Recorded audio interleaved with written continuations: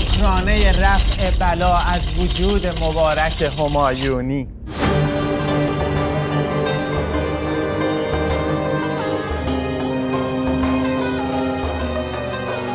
خطبه ولیعهدی معین که قرائت بشه ناصر هم مثل خودم سلطان صاحب قرار میشه.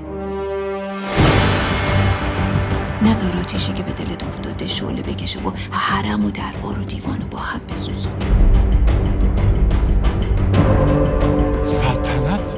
حق مسلم اولاد شماست.